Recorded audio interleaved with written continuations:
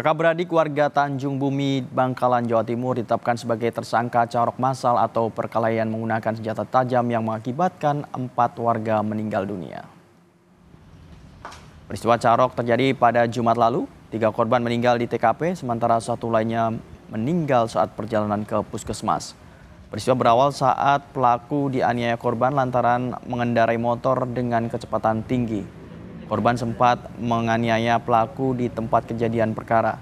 Tidak puas menganiaya pelaku, korban justru menantang pelaku berduel hingga akhirnya meninggal dunia.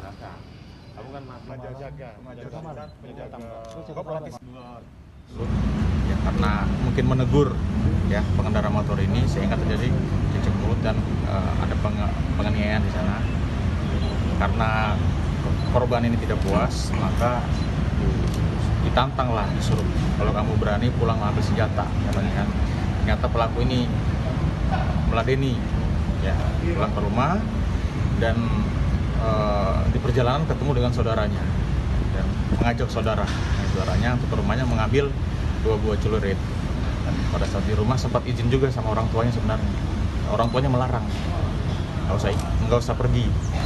Tapi pelaku ini tetap uh, maksa untuk